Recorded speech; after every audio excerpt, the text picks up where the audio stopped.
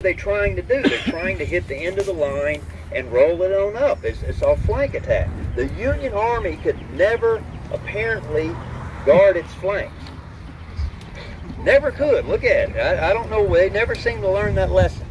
Uh, multiple battles.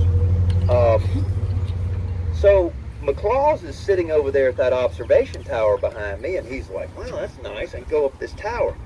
And uh, ooh, it's nice. You got to come up, Bob. Um, um, he's over there, and he can't execute his orders.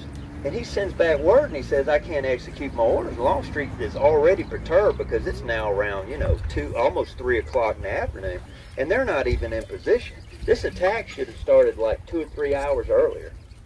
And now there's just, there's, there's nobody. They're not in position. Longstreet's in a bad mood. McLaw's in a bad mood. It, it's all going to, and Longstreet tells him, attack. The orders are you need to push the attack. And McLaws says, all right, well, he's getting ready to go and James Longstreet personally, physically arrives upon the field and calls the attack off until Hood can get into position over here. All right, so I'm working my way down to, to the program today. That Confederate attack line, once it gets into position, will basically stretch down for you for you modern visitors will basically stretch down all the way to the to the park's present day picnic area and a little bit past that. And Longstreet will have his brigades. I will give him uh, credit for this. He does not have a single brigade front. He has a double brigade front. In other words, he has four brigades in each division. He has eight brigades on this field out here. And he's going to attack, and uh, he will have one brigade to back up the other. So, that attack is going to begin on the south end of the battlefield and it's going to come uh, stepping off with the Alabamians, followed by the Texans and the Arkansas people, and you know it rolls down through here until they eventually get to Kershaw. Am I back to that word again? Kershaw, Kershaw, Kershaw? I don't know. Right out here, uh, that eventually gets to their position, and uh, can't find them when I need them. We're gonna come out here, right here they eventually get to the South Carolinians. All right? Oh, all right. It's set up uh, right there, okay? All right, thanks. So, I thought that would go over better. a big chance right here. And the reason I can't, I'm not, I can't pivot this crowd on on a dime out here, but uh, the South Carolinians are going to uh, start their attack from over here, and they're going to be coming basically where the rose farm is behind the peach orchard. Well, what did I tell you? The attack is supposed to be jumping off from the right to the left in echelon. Right to left, right to left. So they're like a row of falling dominoes as the brigades go in. Well, they get to Kershaw, he punches it on in. He comes across this road, the Emmitsburg Highway right here. He gets over the Rose Farm, and he looks over to his left, and uh, there's nobody there. It's uncovered. And so Kershaw is going to split his brigade, and the right half is going to go forward, kind of toward the wheat field, some place called, we don't, we don't say too much anymore, the Stony Hill in that general vicinity. And his left flank is going to wheel to come up and uh, attack toward the peach orchard. At this time, ladies and gentlemen, I'm getting down to the basic program today. You have got Union forces not only facing this way, You've also got a couple of regiments I'll name in a second facing this way. So you actually have it surrounding the peach orchard at right angles. And the point is, getting down to the peach orchard, that they shoot those South Carolinians to pieces out there. Some of the some of the uh, Union gunners were talking about the canteens on the South Carolinians shining in the sunlight, and they focused in on them when they were blasting them. You know, they just shoot for those shiny objects which basically made their their sh- lowered their shots, you know, because they're on the they're trying to get him to fire low. Kershaw is getting beaten to death.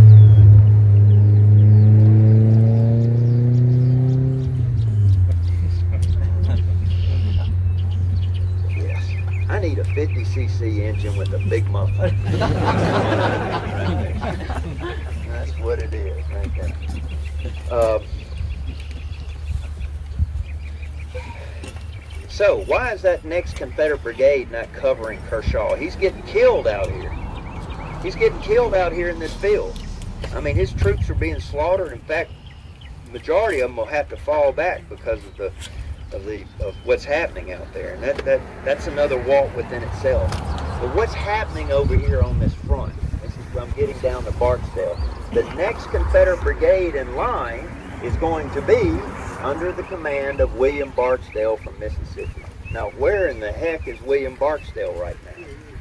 Well, he hasn't gone forward. And he is right in that tree line, basically behind that house over there and around where the Mississippi Monument is today. Go shucks at that. How about that? He formed up near the Mississippi Monument. Well, these things. How did they know where to go? So befitting. Right there. Barksdale is agitated. He's very agitated. As you can see, ladies and gentlemen, he wore coattails to the Battle of Gettysburg. If you want to be in fine style, you want to wear coattails all the way out right here. Uh, Barksdale is actually from Tennessee before the war. Uh, he settles in Columbus, Mississippi. Uh, he was a Mason. If I forget to tell you that at the end of the tour, that's a good point to point out. If I forget to tell you that story, but he was a, a, a Mason. And more importantly, he was a former member of the U.S. House of Representatives. And he is the guy in the aftermath. I don't know how well this is going to show up, but it's a great story anyway. In the in the House of Represent the House of Representatives today is is utter chaos. But the thing that I comfort myself with is that it's always been chaos. the House has always been chaos, and the Senate is where it all's supposed to cool down. You know, that's how the government, the founding fathers, set it up right here. Well, my point is, before the war, these northern and southern representatives would get in the fisticuffs on the floor because that's where the business of the nation used to be, uh, you know, done. Instead of, you know, just showing up for a vote, you stayed in there all day long and you'd have different sides of the aisle and everything. Anyway, there's two different versions of the story, but basically what happens is that Barksdale gets into a fight with one of the northern representatives and uh, I think it was Elihu Washburne. How about that? If you don't, if you're impressed by that name, you ought to meet his brother named Cadwallader. right there. Anyway, they got these two Washburn guys in there in this version of the story. And Barksdale, which was a big man, he was over six foot tall. He weighed like 240 pounds. He's a big, broad guy. He gets in a fight. And as he's fighting with this guy, the northern representative reaches up. I hope this doesn't happen the northern representative reaches up and grabs Barksdale by the hair. And when he grabs his hair, his hair comes off. Which apparently, as you look at it, so now be honest with you, you didn't even know, did you? did you? Huh? Uh-huh. See? Right there. Uh-huh. So they reach up, they gets that hair right there, and he holds it up, and when he grabs his hair, everybody stops fighting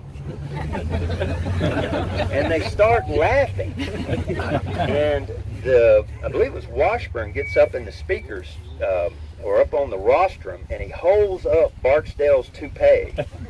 And he says to the other representatives who were falling out laughing now, he says, look, boys, I've scalped it. All right.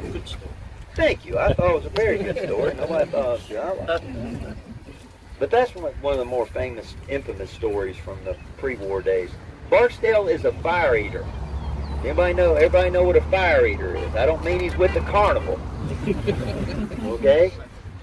He, he is a secession man. He is a secessionist.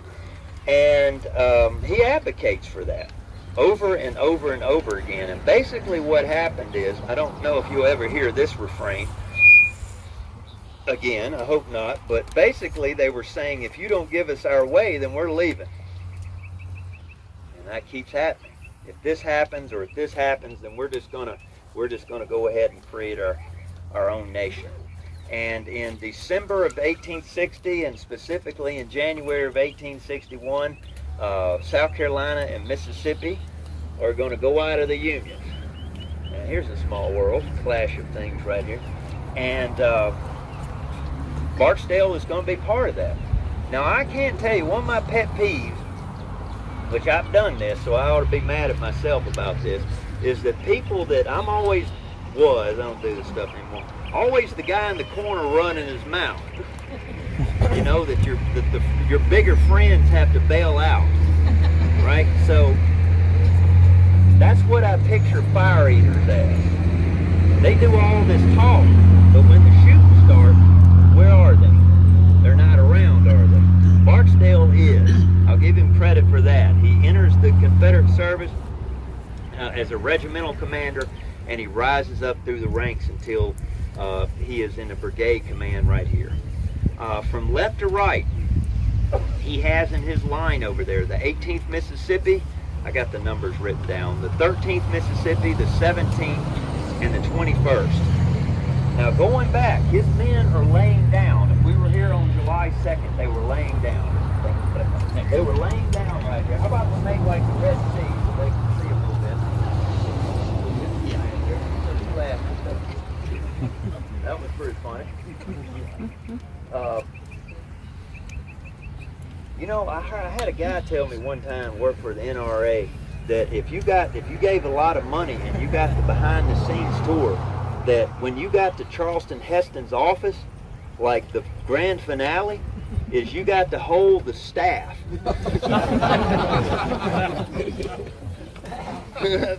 I know everything you could hold in that NRA museum. How about them apples right there? the staff. yeah. You know, like, so anyway, Barksdale and his Mississippians are over there, and they're laying down. Why are they laying down? Not a trick question. They don't want to be seen because what's happening? Artillery's going back and forth, and you want to hide your troops. Now, I don't know the distance, but what you need to know, I would say, what is that, four or five hundred yards? Longer? I don't know. Depends on where you're going, I guess. Uh, maybe five, six hundred. Um, this spot where we're standing right now, ladies and gentlemen, is not the place you want to be on July 2nd. It's not. The Confederates have deployed artillery all the way down. You people that got on my right over here can have a better shot of it. But you look, follow that tree line over there, all the way down. That's as far as the Confederate artillery goes. And what are they doing? The Confederates are not only shooting straight, but what artillery wants to do, ideally, is oblique or enfilade. Okay, and so what are they doing? You've got Confederate shells coming from that direction and that direction. So here at the Peach Orchard, and especially for these Union artillery batteries on the obverse side, the Union side of this hill, you would have cannonballs coming over the hill and skipping over the hilltop into your battery, and you're at right angles to them. I don't know how many times the shot uh, lined up perfectly for you but it knocked down, it could knock down potentially a lot of people, a lot of guns if it hit right. Of course, then again, the Confederates can't see it. So they don't know how lucky a shots they're getting over there for the most part. But they're in a crossfire. And Union infantry in this general vicinity would be down here hugging the ground. If I was them, I'd probably put them a little bit more on the slope, but you know, you got to try to hold what you can. And these troops that are facing this way you know, as they're facing Kershaw and everything, they're still getting hammered by the Confederate artillery over here. It's not a place I would want to be. A very tight situation, to say the least. And uh, going back to the original point, which I've had many people that watch the video, they say, I like to watch you because eventually you'll get back to where you were supposed to be. now you may have to go around the barn, to get there. All right? That's it. Barksdale is sitting over there, and Kershaw is getting slaughtered out here. What does the battlefield of Gettysburg teach you? You know, people come here and they're like, okay, so what else can we learn about the Battle of Gettysburg? what else could be taught from the Battle of Gettysburg? You know, there is nothing like coming out on this field. Hey, Bob, what's going on? Uh, what the battlefield teaches you, if you will let it teach you, is you can read a thousand books on the Battle of Gettysburg. But until you stand over there with James Longstreet and William Barksdale, you will never understand that James Longstreet could not see what was happening to the South Carolinians over here. We like to look at it from an aerial standpoint on a map. That's not what was happening on July 2nd of 1863. They are they are looking over here and they they're not magicians. They can't see over the hill. And so what does that mean? What I think Longstreet is doing is he doesn't mean the South Carolinians to get caved in or slaughtered out there. What he's trying to do is allow the Confederates to develop the end of the Union line and start pushing it in. So he's trying to slow down the momentum. So Barksdale, going back to him, he comes up to Longstreet. He goes, General, let me go in. I can take that battery in five minutes. It's firing over here at the Sherfy house, all up and down the highway right And Longstreet turns to him and he says, be patient. We'll all be going in in just a little while. Barksdale comes back to him. I don't know how many minutes elapsed. And he renewed his plea to allow him to go forward. And Longstreet demurs again until eventually only a few seconds after that, a couple of minutes after that, he turns to his staff officer and he says, go, go get him, something along those lines. And this moment right here was um,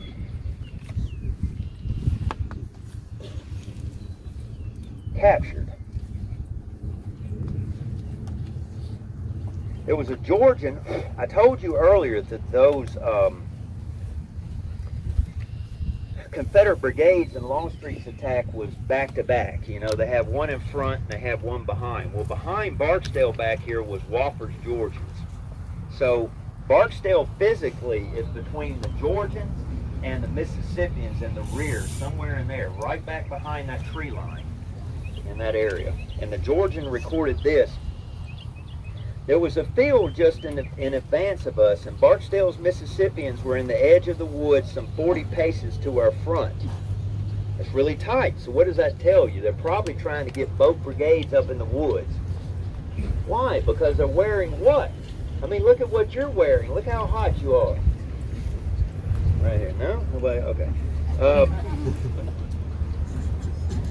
I got leave of my captain to go forward to the edge of the field and reconnoiter promising to return at once if the line was formed. When I reached the edge of the wood, Barksdale's men had formed line in the edge of the field preparing to charge. General Barksdale came back to near where I stood, hidden by the undergrowth, and stepping behind a large white oak tree, uncovered his head, and with his right hand and face lifted up, began his silent prayer. I could see his lips move, but I heard no sound. Before his devotions were ended, a courier came with an order. One of his aides went to him and touched him and gave him the message. This guy's watching this. All transpire. Of course, you know, he's seeing a moment in history. He replaced his cap, walked rapidly to his horse, mounted, and gave the order.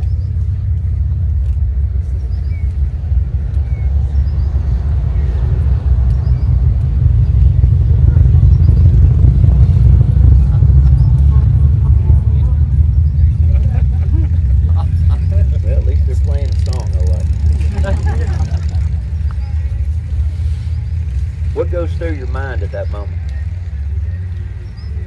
I don't have a lot of time today. I told you that at the beginning of the tour. I can't give you half the detail I want to give you today, and I apologize about that. But here's your moment. I can talk out here until the sun goes down, but I can never replace what you can imagine right now. And if you put yourself in the shoes of that man over there, he's kneeling down. He's got to know what's coming. Now you think about these soldiers. You think about these Union soldiers sitting here in this, laying here in this peach orchard.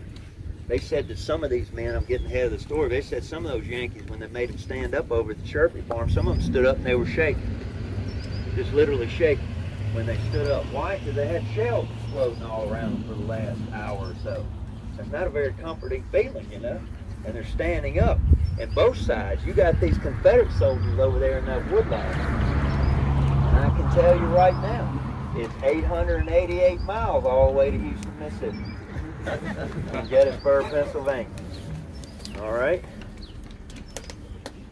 And uh, that's a long way from home. And uh, I mean, what's going through their mind right now? Since we're concentrating on Barksdale, let's do it. You're sitting over there. What have you seen? What have you seen so far? I mean, what is galvanizing you right now? Do you think you wake up in the morning and you're really excited to get killed? You know, just doesn't work that way, does it? doesn't work that way. These Mississippians are standing over there, and I'm sure most of the majority of the thoughts were about their family and their loved one. But what have they seen? What did they see down in Virginia? What have they seen with this Union Army? What are they hearing about Vicksburg right now? You know, I think about this sometimes in the modern era. I mean, they have to have heard that people inside of Vicksburg are being shelled. The civilians are being shelled by the United States Army inside that city right there. They were at Fredericksburg, which is a little off though. I don't know why this got swept under the rug either, but that Union Army just ransacked the whole town. Run around in dresses. Crazy stuff. You know? And they they were in the streets fighting with them you got men, the paradox of this whole thing is that places like Warren County, which is where Vicksburg, Mississippi is, was an old Whig county. I'm getting deep with y'all in politics right now. It's an old Whig county. But of all the counties in Mississippi, there were two, that and the one below it, Natchez, Mississippi, Adams County, that voted against secession. Two counties voted against it, old Whig counties, Unionist counties, river towns. You think they're dumb? Where are they getting their money from? From the river. War's not good for business, all right? They're sitting over here, and a lot of those men are from those two counties. They're in those ranks. What happened to them? When the war kicks off, there are no neutral people. You don't think the majority of the northern people and the majority of the southern people really wanted to stay out of this thing? They did. They really wanted to. Most people like today are moderates. And they didn't want any part of Barksdale and this fire eating stuff, and they didn't want any part of the other side either. And now they're stuck in it. Now you put yourself in the shoes right there. All that emotion's going on. And you've been having cannonballs crash over the top of you. And you got a good idea of what's coming. Because you've been through it before. And you're slaying there. And the first thing that happens is here comes Barksdale. Now there's two different versions. Either he's wearing, riding a white horse, can't beat that, or he's riding a black horse. can't beat that. It was probably, depending on how you like your Western movies, but uh, he comes riding behind the brigade first. And when he rides behind, he's telling us, passes every colonel. He has four colonels commanding those regiments. He's telling everyone it's time. It's time. The colonels start telling the captains to get them ready. We're going in shortly. And the men start, they know, they see the couriers bustling around. They've been in combat before. They know what's coming now. Barksdale gets to the end of his line. If you were here, take a look at it. Take your eyes off me. You can stare at me all day.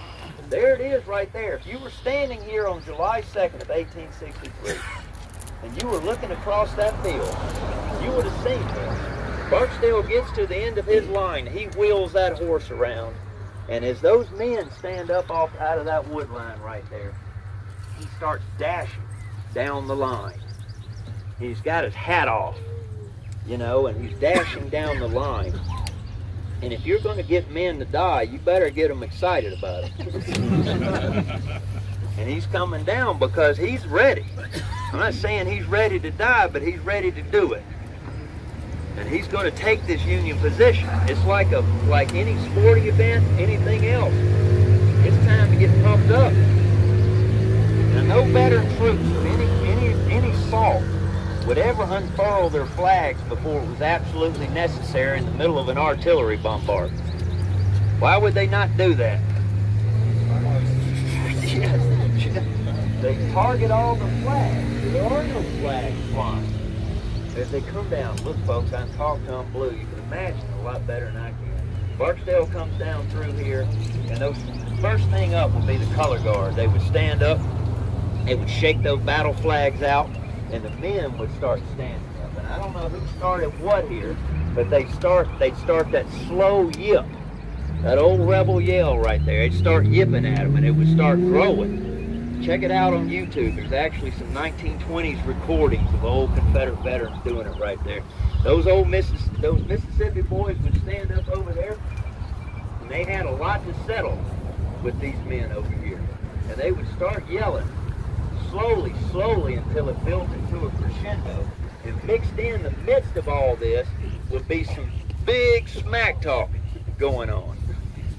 Like what we're we are telling you what we're about to do, and we're about to do it. And there's nothing you can do about it. You ever had that with your sports team? I saw that in the Egg Bowl this past November against Mississippi State. We went five wide, and I was like, well, all these Mississippi State folks standing around me, they felt quite confident, apparently, to me. I said, how many cornerbacks y'all got? zip, touchdown, right there. Feeling of elation overcame your Rangers at that moment. Pull that train whistle for. Coming through. Those Mississippians form along that tree line. Barksdale dashes down the line. He pulls up in front of his old regiment, the 13th Mississippi. He pulls up in front of that, um, pulls his horse there. He had told his, his colonels earlier that uh, uh, quote, the line before you must be broken, he said. To do so, let every officer and man animate his comrades by his personal presence in the front line. All officers will be dismounted except for Barksdale. Only brigade commanders were allowed to be mounted that day. The rest of the officers went in on foot. Quote, General Barksdale's appearance riding rapidly along in the rear of the line was a signal to the respective regimental commanders to get alert, recalled recalled J.S. McNeily. Barksdale then turned to the right, stopped in front of the 13th Mississippi, and shouted, Attention, Mississippians, battalions, forward. And with that, here they come. They start coming across through here. Now, I thought, you know, I've never, I've talked a lot about the Peach Orchard over the years, but I never did a walk on the intricate tactical combat that occurs here. And the truth is, I can't really do it now. But I always thought that basically Barksdale would be coming straight toward us. All right. Basically, though, in a nutshell, Barksdale is never like you imagine, right? It's, uh, Barksdale is kind of headed at a slant. I'm not saying he's like this or anything at right angles, but he's coming in at a slant. He's attacking like this as he comes through. And his right flank, remember, you're reversed from me and you're right on target. So you got Confederate and Union sides right here. The Mississippi right flank, when they get up here, will be somewhere along this road right here. And his left flank would stretch over behind that red, red house over there. 1,400 Mississippians, when they start out, has a line roughly approximately about 400 yards long. And of course, the regiments, you know, would break out. We'll get to that eventually but they're basically within a brigade. He's got four regiments, and they go off within their own. And they start coming across that field. Now, once again, to reiterate what I said earlier, you can look at a thousand maps if you want to, but you'll never get the ground like we have here today. I mean, you just can't replicate that. No other way can you do that except be on this field. And you see those Mississippians, you can imagine they're coming down that slope right there, and they're starting. at The closer they get, they're coming, and the and the longer they go across that field, the faster they're getting. I'm not saying they're eventually going to be at a dead run, but the but almost instantaneously, your officers are losing control because it's starting. The Union cannons open up, the Confederate cannons fall silent as they pass through, and the, especially the Napoleons down the road over here open up with canister, which in the Napoleon is 28 one and a half inch iron balls backed by two pounds of powder. When that cannon explodes, that can rips apart and those balls go down range and they sound like one Confederate said it was like flushing quail. You know, it had that high pitched noise to it as it was coming down. And uh, they just start blowing holes within those Mississippians. And I don't know. I don't know. I don't know. I don't know why. I don't know why one unit fights harder than the other in the Civil War. I don't know what makes that. I don't know how you get that. You know, it's kind of like, I don't know. It's a talk for another time, but um, they get down in that swell and they're taking significant losses. But they come up out of that swell, and as they start to come up out of that swell, they're starting to shoot. I'm not saying it was trained volleys or anything, but a lot of times those soldiers especially on the seams on the southern side, will be loading and firing as they advance. And they walk right into them, start shooting at them. And so it's pop, pop, pop, pop. You start to hear kind of like firecrackers or somebody chopping wood over here. That fence down there disappears in the middle of that field down there that runs at right angles to the road. And the Mississippians start coming up this slope. Well, by now, the, the Yankees know that they're not going to be stopped so as they come up the slope to behind the Sherfy house, the batteries start to limber up. And they start to get out of here. Or and guess who's got to buy time for them to get out of here? These poor Union infantry. And so they are going to advance. You can see it. You people on the right have got the best seat right now. If you look behind, over here, behind the Sherfy house, all those Union troops that were behind the Sherfy house, the, the Union battery would have been at least one of them. There was two of them up there. Bucklyn's would have had two cannons on the other side of that barn and four cannons on our side of the barn right there. Uh, eventually, that section that was on the opposite northern side of the barn is going to be transferred to the south, down through here. I believe Thompson's battery would be in there too. Um, Graham's brigade is placed on the Emmitsburg Road. This is where we're uh, basically standing here on their left flank, the Union left flank. From right to left, this is past the Sherfy house down there, you have the 105th Pennsylvania, the 57th Pennsylvania, the 114th, and the 68th Pennsylvania. All facing west. And the 68th Pennsylvania can we see it? Their monument should be back right back behind you somewhere, not too far away. And uh, keep that in mind. They'll come back to it. The troops facing south are the 2nd New Hampshire, the 3rd Maine, and the 141st uh, Pennsylvania. All right, so here come the Mississippians. As they start to advance, they get closer and closer, and the batteries start to limber up.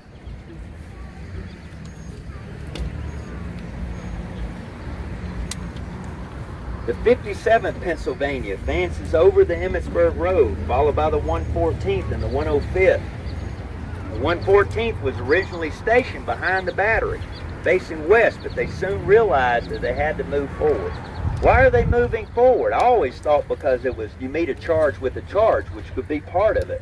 But they got to buy time for this road bed, this road we're in right now, or adjacent to, for that artillery to get in that road and get out of here. They got to get the horses up. And so the Mississippians wade right into them. Quote, this is a Union quote, the impetus of our advance carried us to the Emmitsburg Road in the face of a murderous musketry fire of an advancing enemy. Reaching the road, we clambered over the fence and crossed it. Sherfy's house and outbuildings intervening between us and the approaching enemy. The right of the regiment was advanced to the rear of the house. Over here where we are, Barksdale's 21st Mississippi. Who asked me to talk about that? The 21st Mississippi, it's the peach orchard where the 68th Pennsylvania is. And the 2nd in New Hampshire and the 3rd Maine were in the act of pulling back. If you got an attack coming this way, ladies and I'm getting down the tactical level right now. If you got an attack reaching this way, ladies and gentlemen, guess what?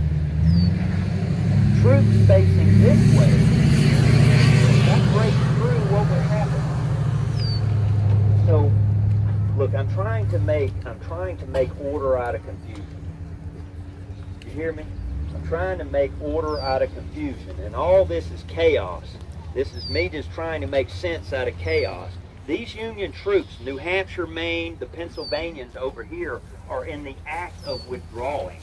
Now, how good a job they could do under fire, I can't, I do not know. But they pull back. Why are they pulling back? Because they're trying to get their line in order to receive the Mississippi. If they, you know, to receive the attack.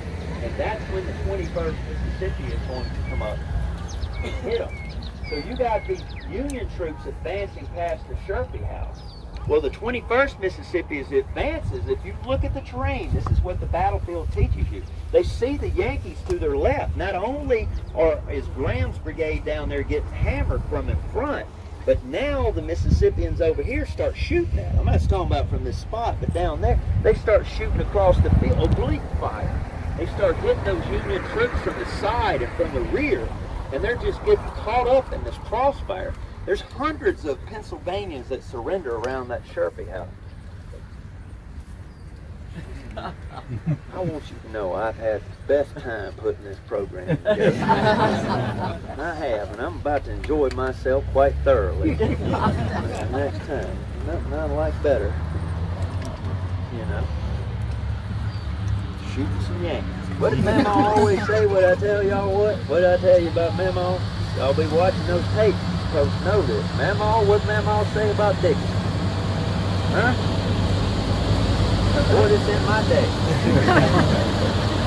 Mama always said that Dixie made her feel like shooting the Yankees.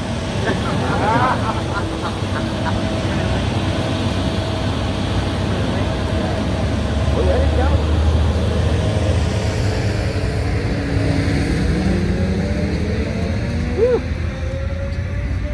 If I couldn't get a bigger tractor than that,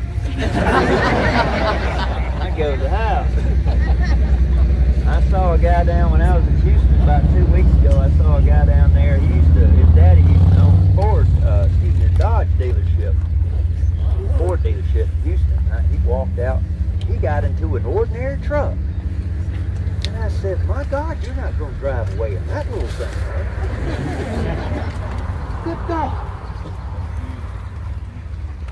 He didn't find it funny. I thought, story of my life. My brother says I should put on, going back to the tombstone, my brother says I should put on my tombstone, quote, I thought it was funny. he might just do it. He goes, ma'am, he might do it, you know. you know, be like my boss. Now, Matt, holding the letter, take me through the thought process.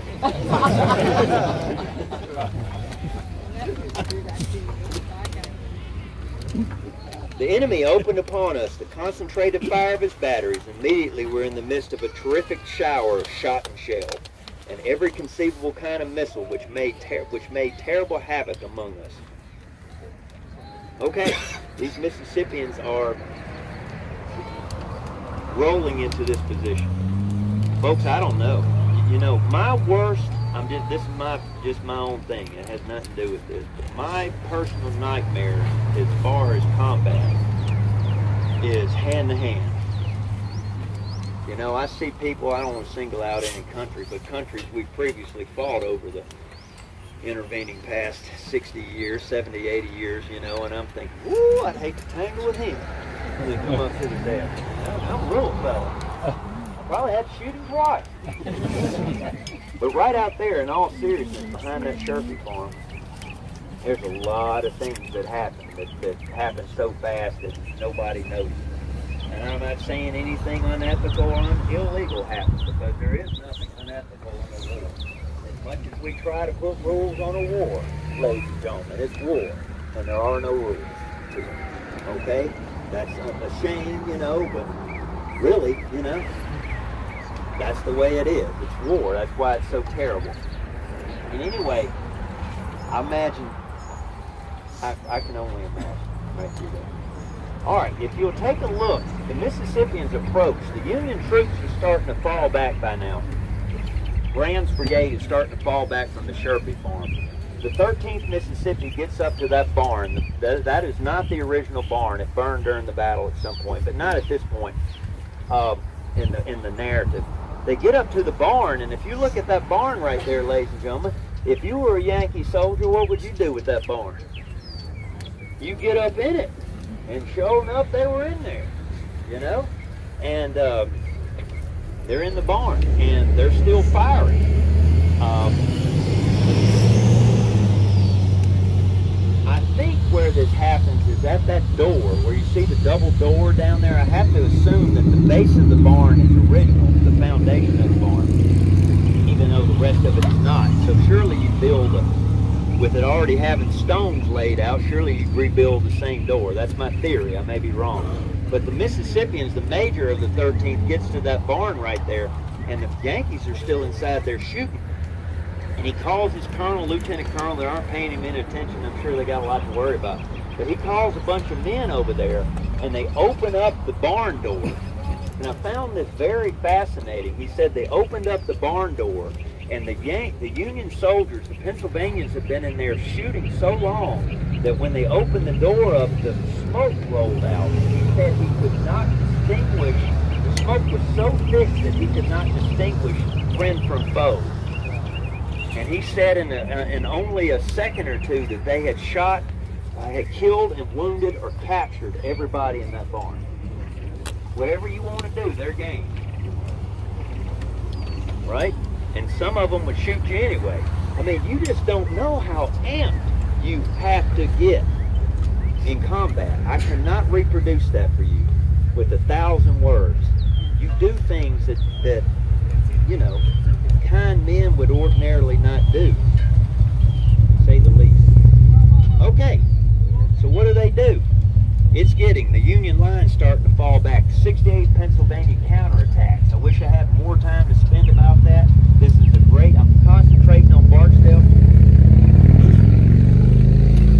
I'm concentrating on Barksdale, so I'm time limited, but the 68th Pennsylvania, what a, what a, if I could give just one shout out to these Pennsylvanians.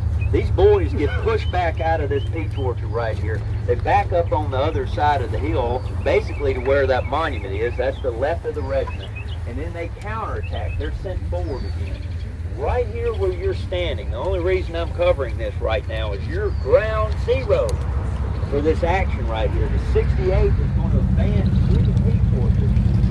And their advance marker is that white marker back behind y'all, all the way down on the fence line over there that area. Okay? So they counterattack, but when they come out too far and they push those Confederates back, what ends up happening to them? They start getting hammered from over here, so they advance too far. So, you know, well, it's hurt people. and they what? They're falling back through. This line is coming unraveled. Barksdale, Mississippi, as you can imagine, they would have come right through here. They would have been dead, wounded Union soldiers everywhere where you're standing out here today. It's hard for me to just to imagine that. I mean, human beings, people, laid out by the hundreds. Everywhere where we're going today, we're basically following a trail of bodies this whole tour. You could you could do the whole progress of this charge by just following the bodies. How cool And so Barksdale's Mississippians rolled through the peach orchard. But here, let me wrap it all up and we'll get on to the next stop.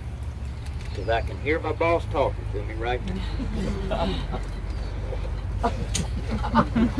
he doesn't even smoke, but it's still funny to me.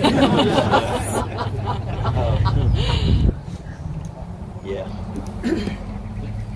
to wrap it up to my original point, I told you earlier that what did what did, what was McLaws order to do back in the early morning or mid morning of July 2nd? He was ordered to attack up the Emmitsburg Road. The South Carolinians, Kershaw, is going to be doing what? Kershaw is trying to do conform to his orders. They're trying to wheel, right? Dress to the right, wheel to the left Dress to the right, wheel to the left. Do I need to say it one more time? Those are the orders. Dress to the right. If you're dressing to the right, which way does that carry? It carries you toward Little Round Top. If you're wheeling to the left, what are you doing? You are advancing up the Emmitsburg Road. And so what we're doing, basically following the toll road, Does it make sense, people? That's why the toll road's there. Not to follow Barksdale's advance, but to get you to the Union position. And so, therefore, indirectly, you're following Barksdale's advance. We're wheeling from here to here. Those Confederates would have been, the right flank of Barksdale's brigade would have been wheeling right through here to Wentz house, over here behind. Right across the street. Over there. All right, how are we doing so far? Good. Doing so far? All right. So what we're going to do is, I'm going to turn around. I don't know where did my lucky, lucky little interns go back here. Oh, you the rear of the line back there? Where did the college kids go? Hello. oh, okay. If you could, if you could go ahead, tell whoever's back there, tell them we're coming. But, you know, stop the traffic. We're about to go. Let me get to the to the rear of the crowd so I can get in front. And basically, if you're gonna if you're gonna lose. Uh, if you don't know where we're going, we're going to cross the road and we're going to take a trail, not the pavement. We're going to take a trail that takes us over to the Excelsior Brigade. It'll save us a few steps and allow me a minute or two more. And we're going to get on the road and start heading towards uh, following Barksdale's advance. Where you're at, come on down. you like that?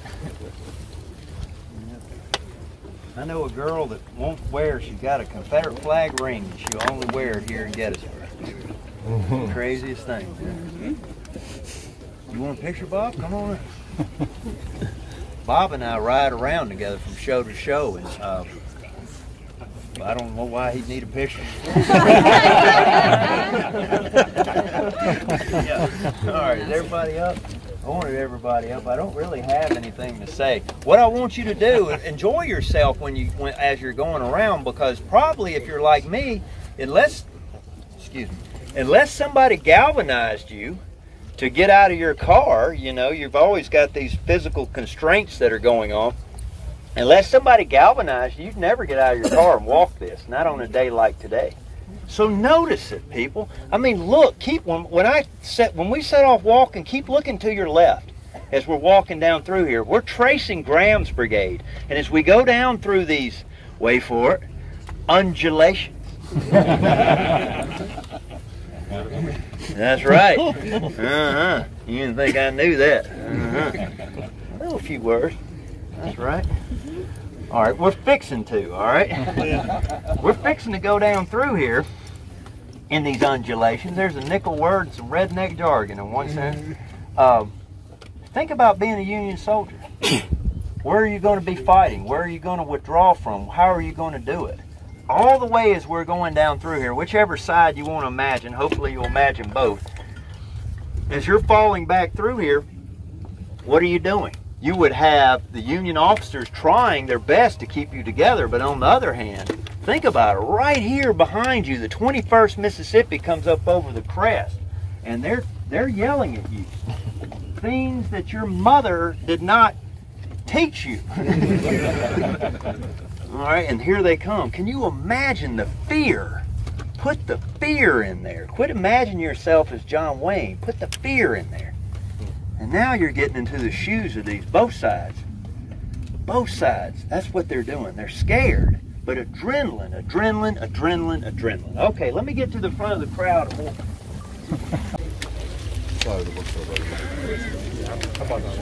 If y'all missed it, if y'all missed it, there's water trucks right behind you.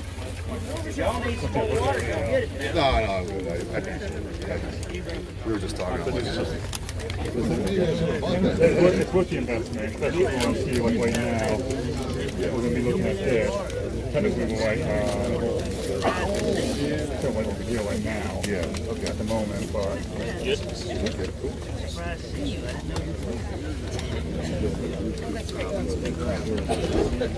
I'm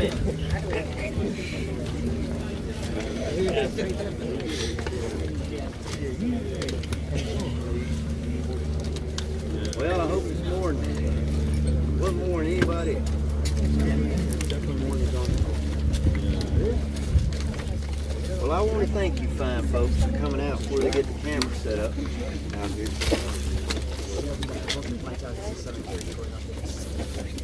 Yeah.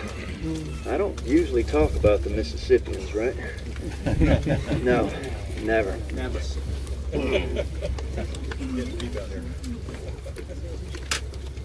You know, oddly enough, as long as I've worked here, I've never done a Barksdale. You'll have to come out sometime when I, you know, I don't mean to. I'm very honored to have however many people I got out here, which is a lot of people. Um, but um, it has its limitations. You have to come out here sometime. We'll do Barksdale in a smaller group. We'll all get uh, heat stroke. then you can all go home happy. or just eat all the candy out of the trail mix or something. There you go. There you are, right there. you like that? A sponge, right? Well, sir, I need to tell you something. Uh, they were on my cemetery tour yesterday. If I remember you, it's usually not good. you remember us? We were back here in 2012. You took us out on the cemetery ridge hike. Yeah. Mm. What was that word? Surplusage. Surplusage. Surplusage. That's a word I used with uh, found with Abraham Lincoln yesterday. He taught me that surplusage. So I'm gonna wear it out now.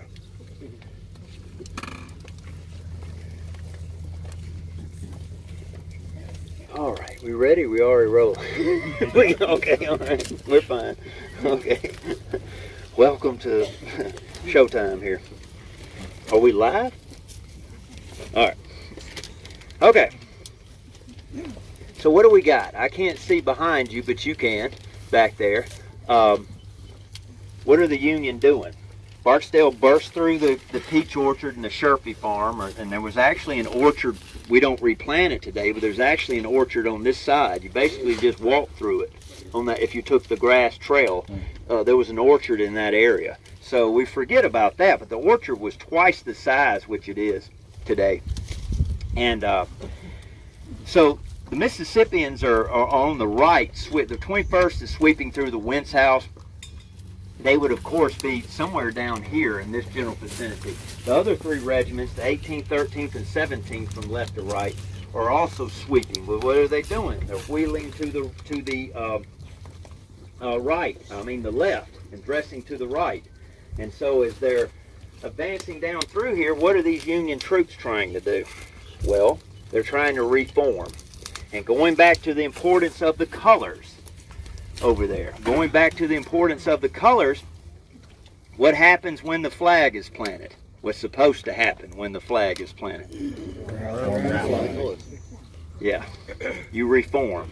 And so they would take the U.S. flag and they would plant it at different points and they would gather up whatever they could get. Oh, there's the guy right there. And they fall back all the way to roughly approximately right here. So the situation in the Union line is twofold. We've got like a half-opened uh, pocket knife right now, jackknife or whatever. Uh, you've got uh, Carr's Brigade, which stretches all the way down to where you see those big trees, roughly, approximately in that area. You've got Carr's Brigade right here. You've got the remnants of Graham trying to to fall back, whatever, but they're almost all done. Uh, a lot of them are already headed to the rear, and I don't blame them. And then you've got uh, Brewster's Brigade, which is trying to reform or, or right angles. Now, if you think this could get any harder, you know, the fresh Union troops are facing this way, but they're in defilade. You know, they're not on the uh, on the Confederate side of the ridge. Why are they not on the Confederate side? Because they can get hit, so they're in defilade. Well, here come the Mississippians from this way. And as I told you earlier, the Confederate line is back behind me. What ended up happening? It, each brigade is supposed to trip off the other one. So when, when the South Carolinians went forward, Barksdale goes forward, however long that took, 30, 45 minutes later, and they advance. And the next line, uh, the, excuse me, the next brigade in line is, is from a different corps and a, obviously then a different division. This is going to be getting into A.P. Hill's territory. And specifically, the brigade that's coming forward is Wilcox's Alabamians.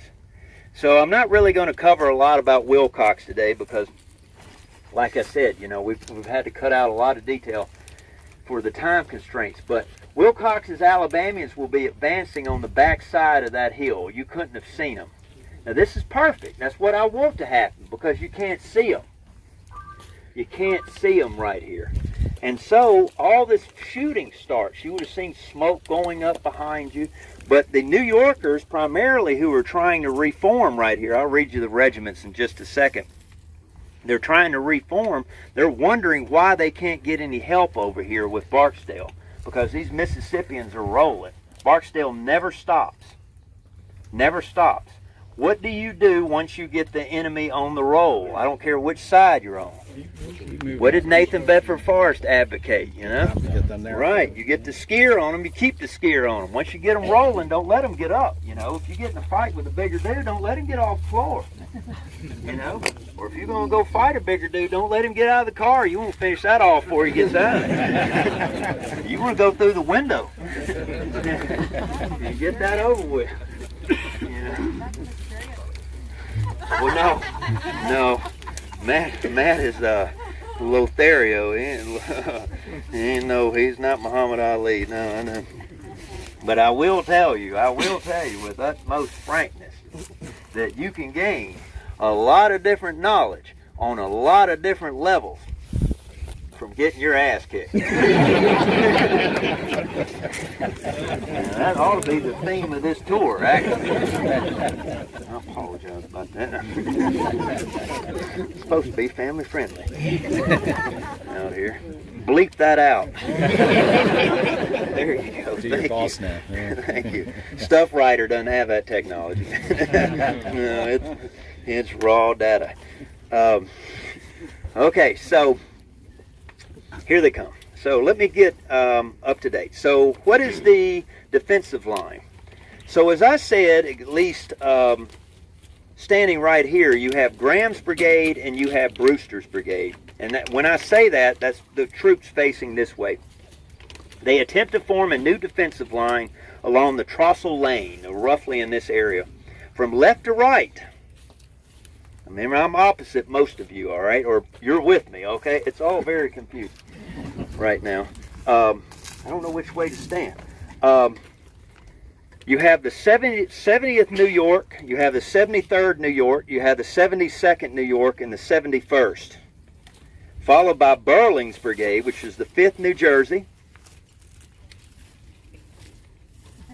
Right there.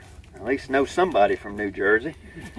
And then Carr's Brigade line, which I have already pointed out. Now you need to remember this: the 120, well, the 120th New York is in reserve, and I'll come back to them in just a second. I forgot you had that that memory.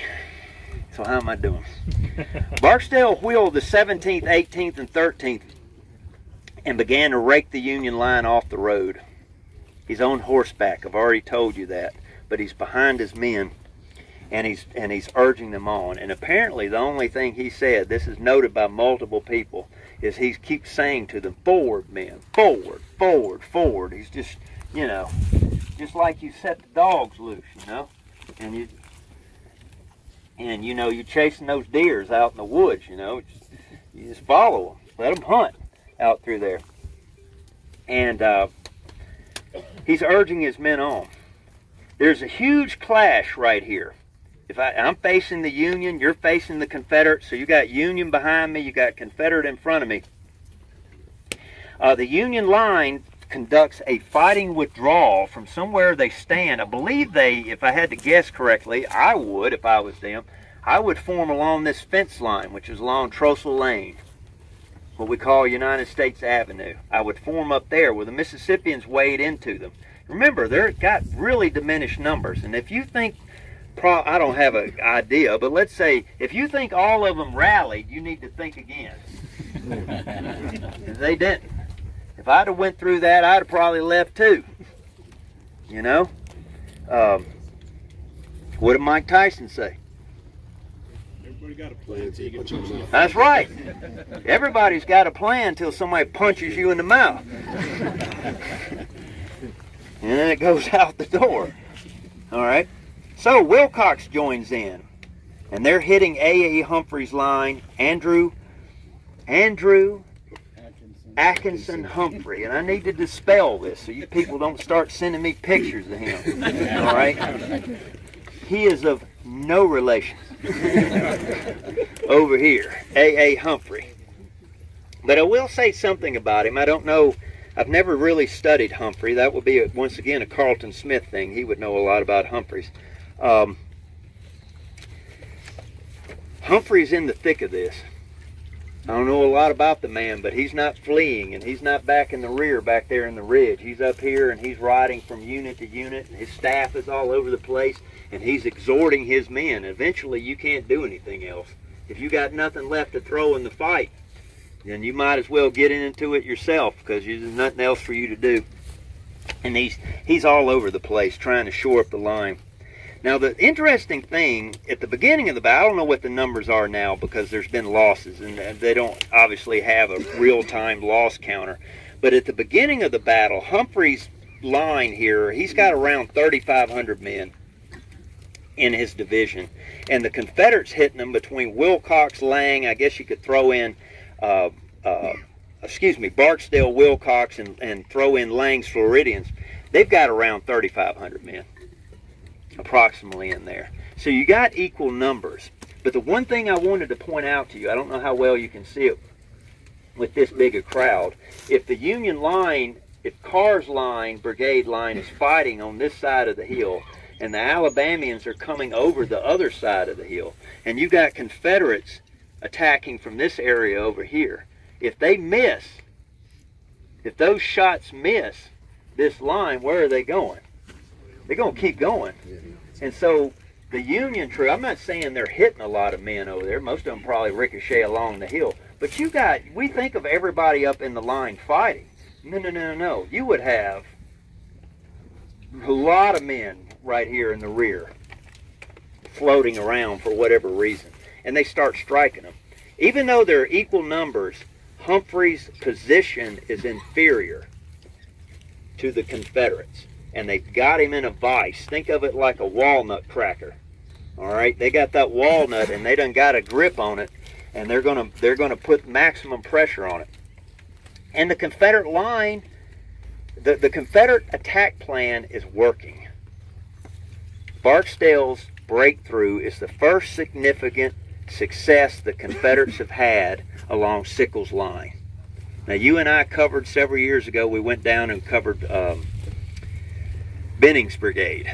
And um, so, you know, if you remember that walk and some of the other walks, you know, there's a lot of fighting that goes back and forth throughout that area.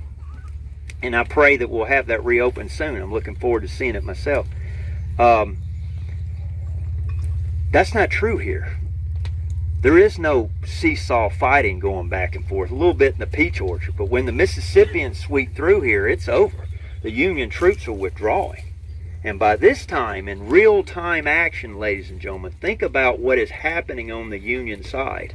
Barksdale and Longstreet, all the Confederates, they have hit them so hard on the Union left flank that over here, where you see back behind you, my friends over here representing the Union, the Confederates could see, uh, if they were here or paying attention, they could slowly watch all these masses of Union troops slowly trickling down and marching at right angles down to the south end of the battlefield. When that happens, ladies and gentlemen, they are cons consistently weakening the Union line across this whole front. Now I'm going to leave it to my to Chris Gwinn this afternoon to wrap that portion of the of the fighting up during his program. But as far as it applies to us, to back up to the very beginning of this program, where is Dan Sickles supposed to be originally? That's right. He's supposed to be. I parked you at the one spot you couldn't see it. Um, so much for planning. Um, the Pencil, I swear to God, the Pennsylvania Memorial's over there, behind those trees.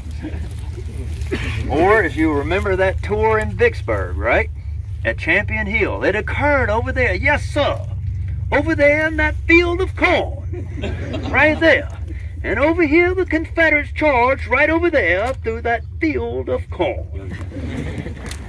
So anyway, there's got to be some corn around there somewhere. there's a hole in the line. There may be corn, folks, but there's no Union troops.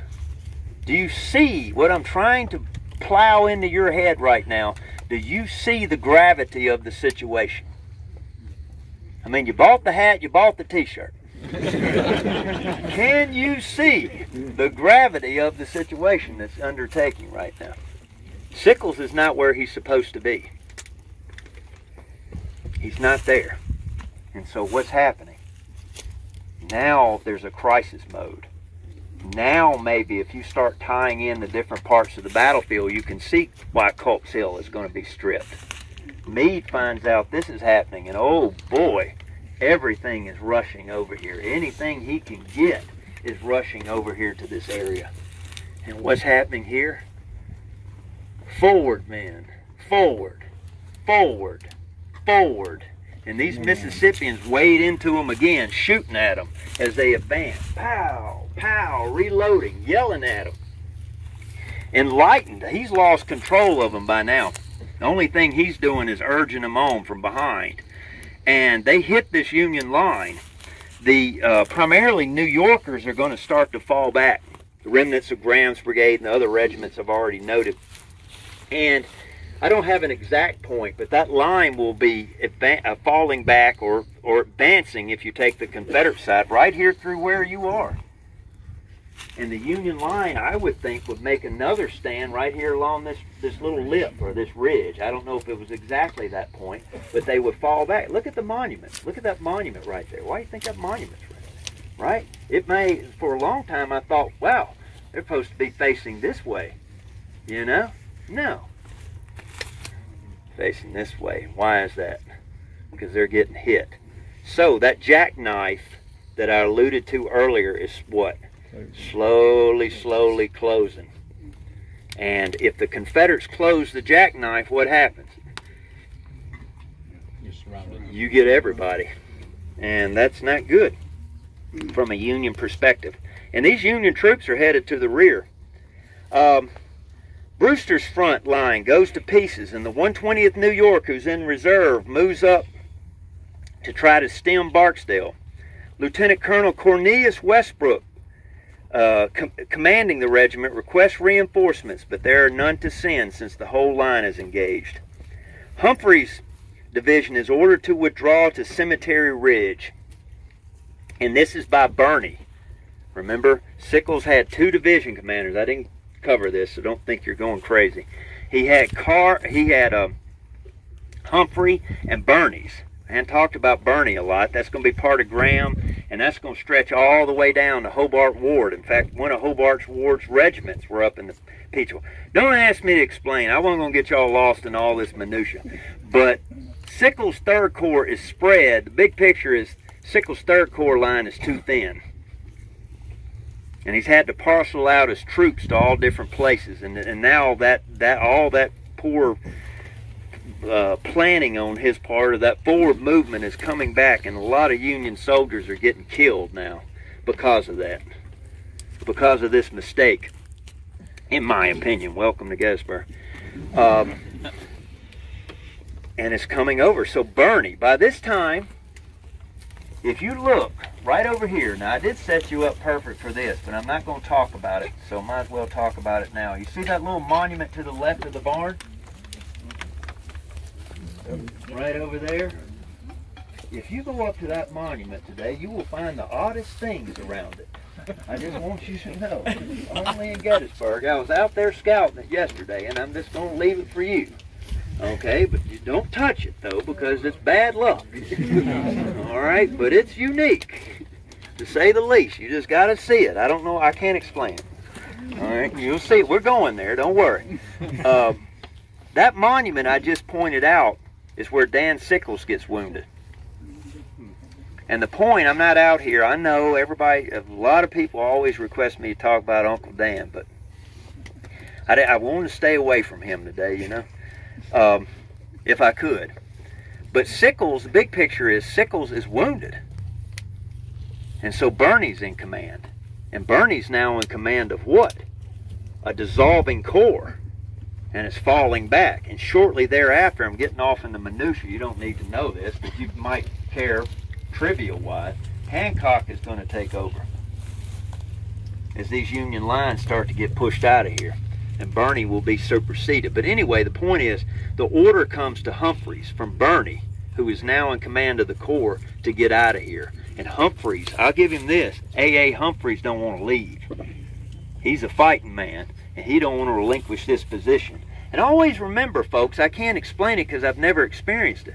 But time after time, I note Civil War soldiers saying that we lost more men getting out of there than we did getting in there.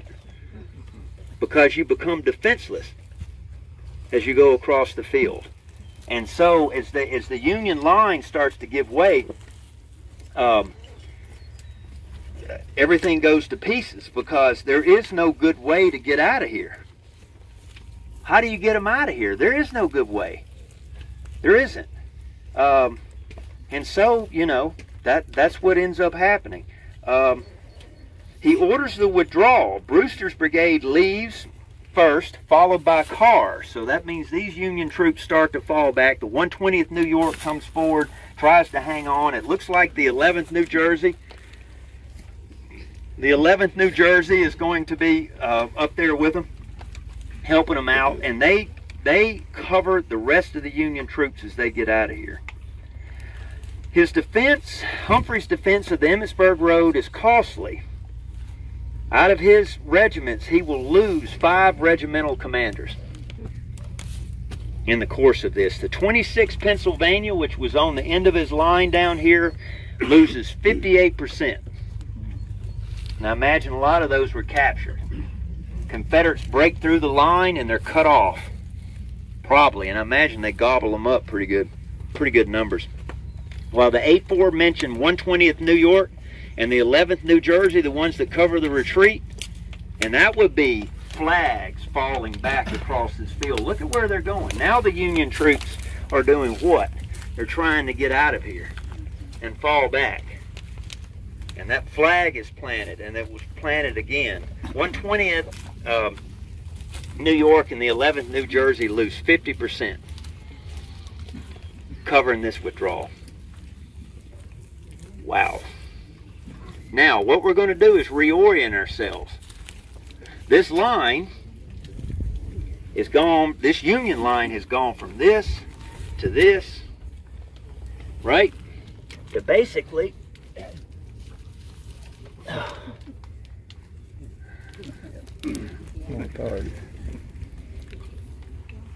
It's gone. It's in the wind. It's in the wind. My pants are dusty. What a great idea that turned out to be horrible. Man, what were you thinking then? Well, it seemed like a good time for Karate Elvis to come out. yeah, but your leg's bruised up and everything. I know. I didn't expect the other leg to come out from under me.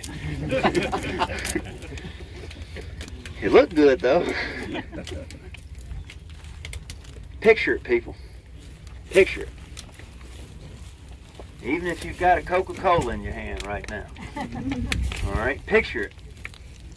Falling back all the way through this field, back toward that ridge, I would call it the lower half of Cemetery Ridge. Hundreds, hundreds of Union troops, shall we say thousands? Now, if you're here, we all know the end of the story. But if you want to understand the story, put yourself in the moment. If you're a Union soldier, and you don't even have to be a general. If you're a Hancock, make yourself a general. If you're a Hancock and you're watching this, what are you thinking? Well, Hancock's never defeated, but he definitely knows the tense situation. And this is open, people. And if you're a Confederate and you're turning and you're advancing down through here, what are you thinking? A lot of these Confederates are thinking, this is it. This is it. If we can gain, if they can gain that, that wood line over there, they split the Union Army in two. That's the objective. We're not going to go far. I'm going to uh, uh, walk through this crowd. Nobody move. I'm going to get on the other side back there with uh, Tom Petty over there. And, uh, hey, that's a good compliment. Uh, I like Tom Petty. And we're gonna, I'm gonna face on that side. I'm gonna wait for the camera to move over and we'll move, but I'm gonna uh, get you over here in this position and reorient you looking down toward the Trostle farm. And we'll start our last descent, okay? This will be a brief stop, so y'all don't get too comfortable. But I want you to set you up to enjoy the, the moment right here. Um, all right, let me know when you're ready.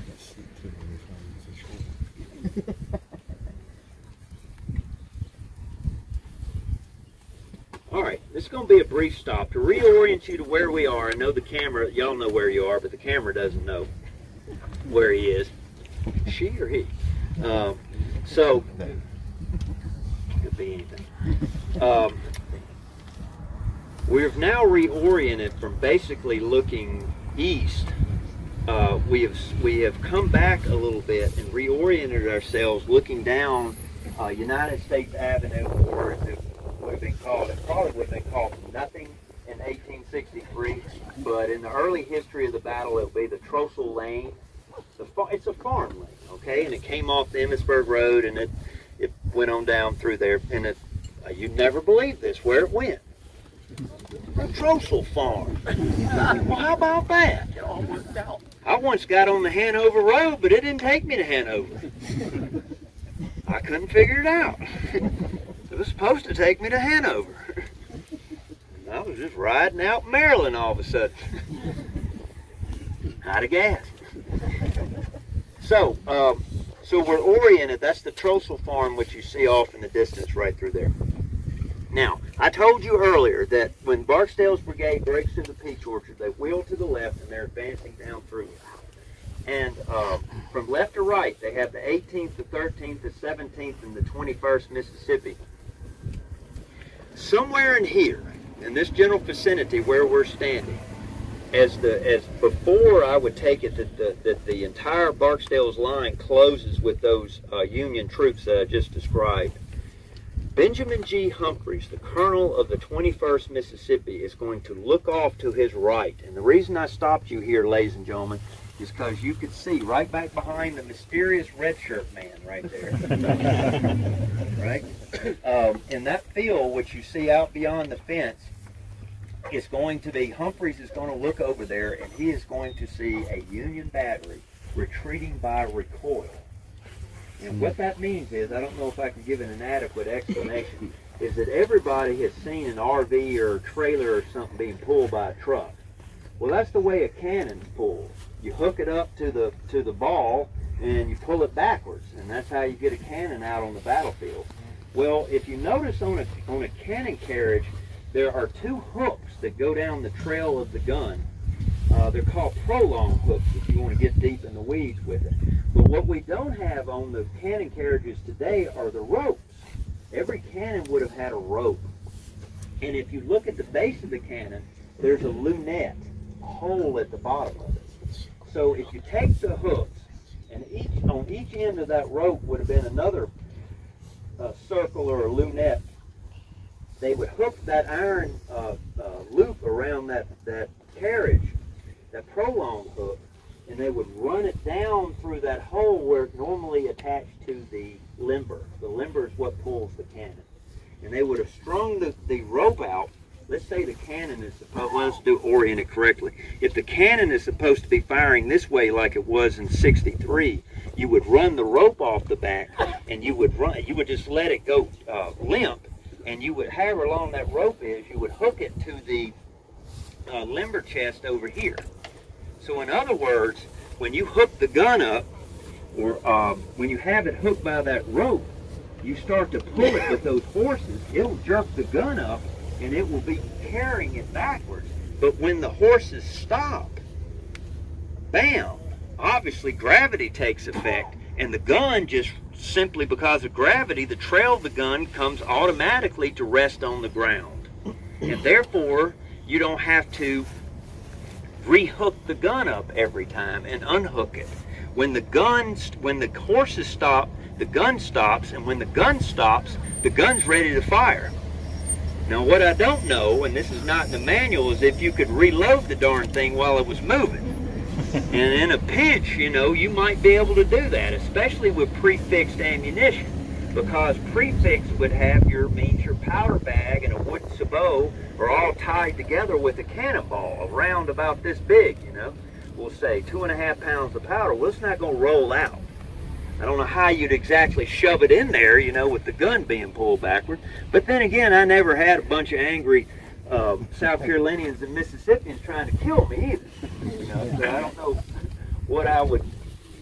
I have heard the whistle of birdshot though in high school. Places I shouldn't have been.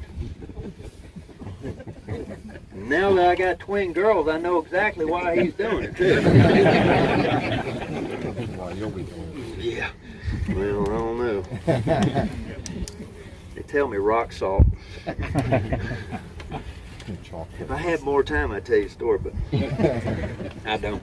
So anyway, what I want you to picture is the, the look. Humphrey and the 21st Mississippi don't know who it is. They know it's Union artillery. They don't know who it is, and so they look across there. Picture it. They would have seen six guns falling back all the way toward the Trostle farm.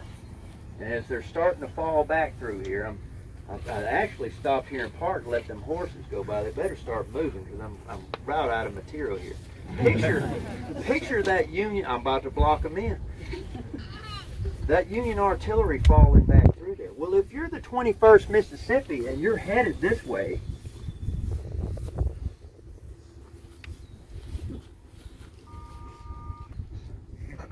Oh, look there. Oh, wow. No infantry supports. Oh. 21st Mississippi breaks off and basically attacks, I don't know, let's make it simple. On the other side of, let's make it, put it on, either on the Trostle Lane on the other side, but they start advancing through this field, down through here. And what are they after? They're after those, that Massachusetts battery that's falling back toward that farm what I'm telling you in the Barksdale hierarchy, the story I'm telling you, there are four regiments okay?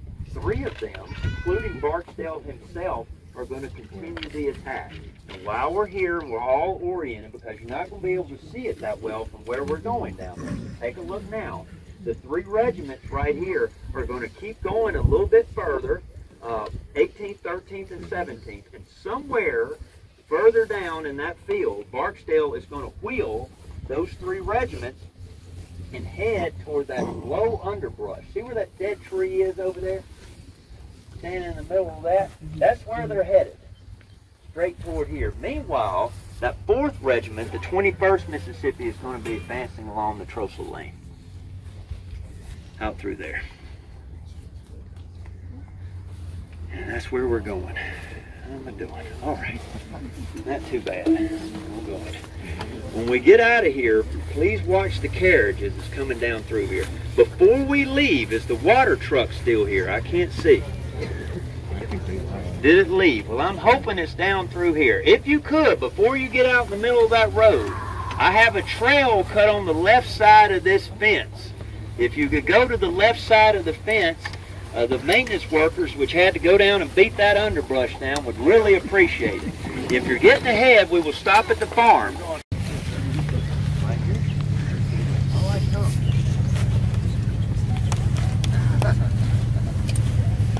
Lived here long enough to get it. You alumnus did it then. Oh my God. Uh, you could get figure out what's going on in that church right there in a hurry. All right.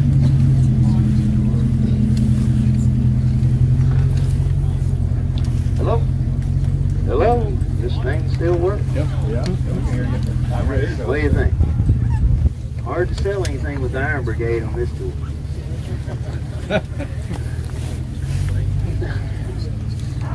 All right.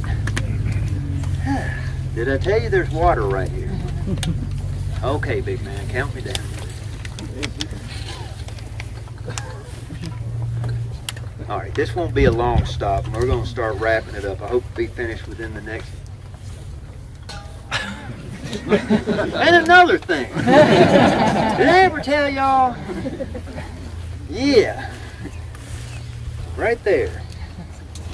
Okay, starting to glisten. As they would say. Look. One of these days, maybe the last tour I ever do out here, maybe we'll just do this tour at the bar. Have the camera go around, right? Yeah, pass it down, you know. Maybe have those little cameras you can drop in the drink, you know, everything, you know, like on Deadliest Catch, you know. Watch the beer go down. You're mine. Oh no, no, sir, I'm good. Have a robot giving the tour, you didn't watch it in the car. That's right, that's right. No, no, no. You're talking to your microphone. through the Only in the government do you get excited about a 1.2% raise. You're right about know, that. like I was like, they got us set for four percent. I haven't seen that since like 2002.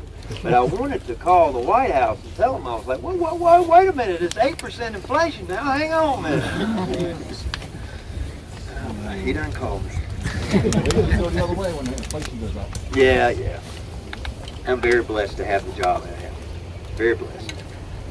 Uh, okay, so we were talking about Bigelow's battery, and they're falling back across this field, and they're retreating by recoil. So you just followed, in a nutshell, the footsteps of the 21st Mississippi coming down through here, this trail which we just plowed. And I don't know how well you can see it. I don't know if John Denver and the rest of the heathen side of the crowd over here wants to park right here.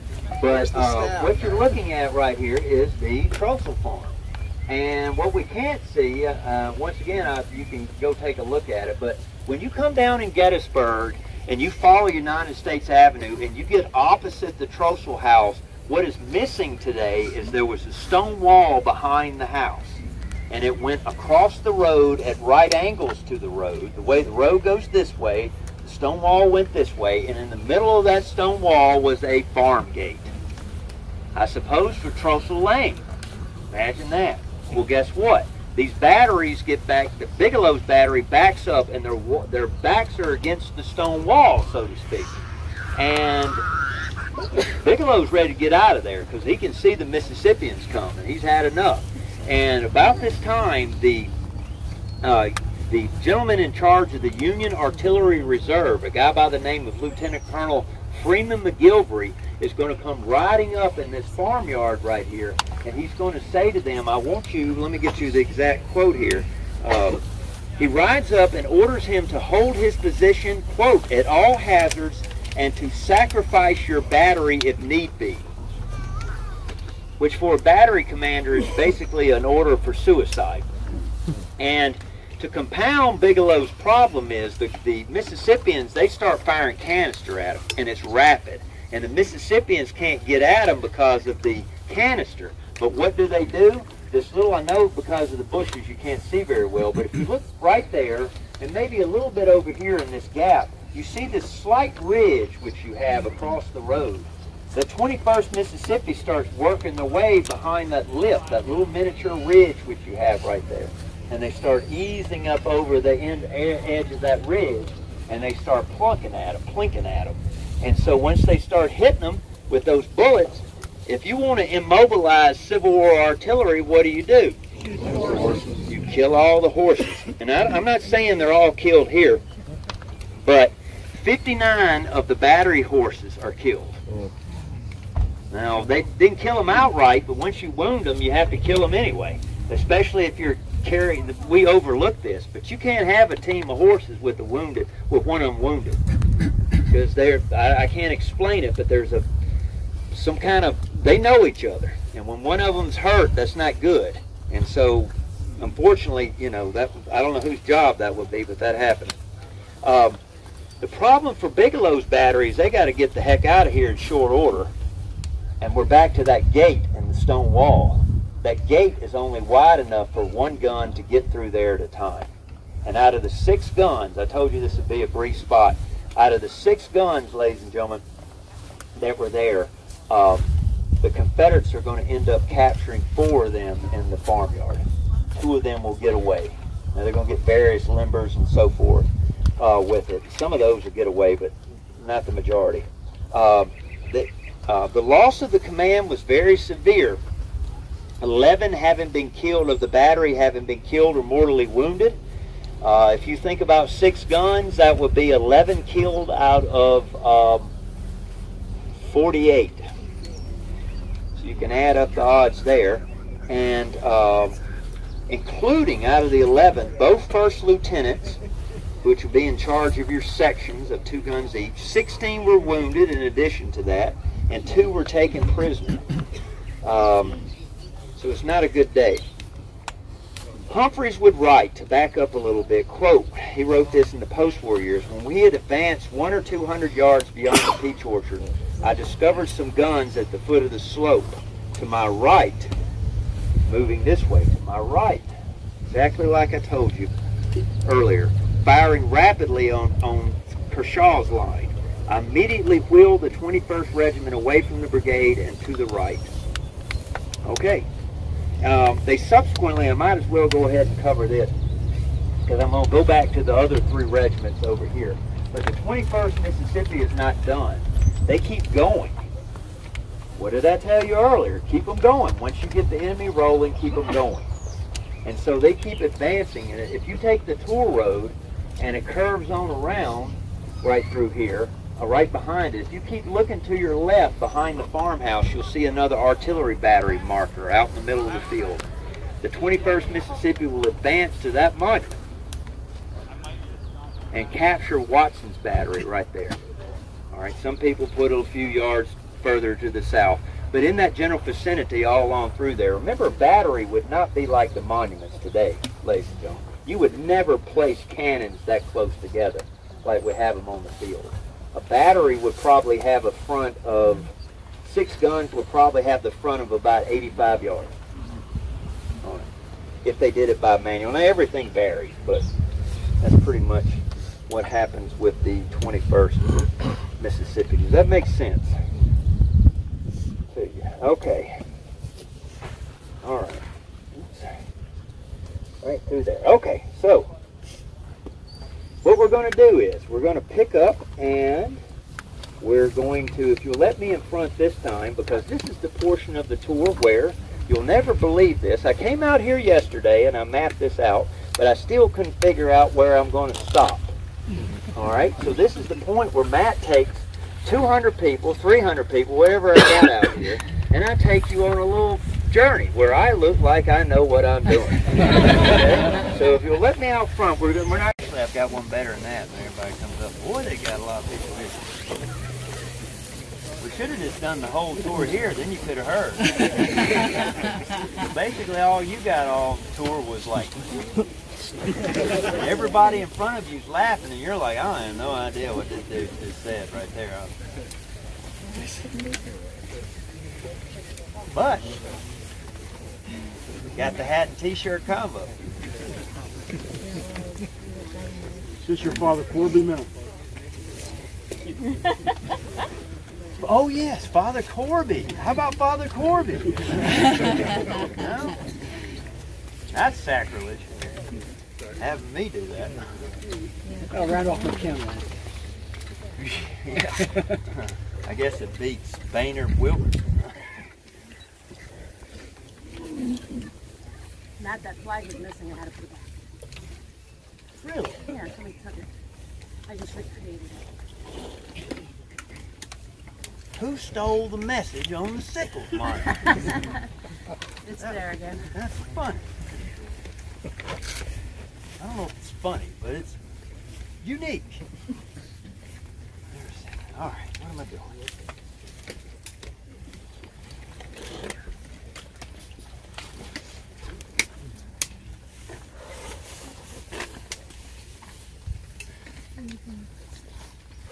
Where's it at, Daniel? I was just getting it.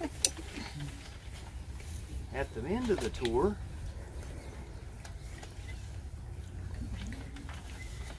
This is where you Matt need the fell staff. apart.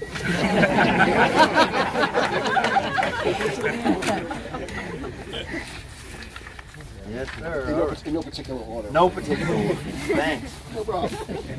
Charge extra. Oh, we got it. All right, where's page seven? That would be nice. Anybody remember Paul Harvey? Don't hear that too much. All right, we'll bring Matt back together.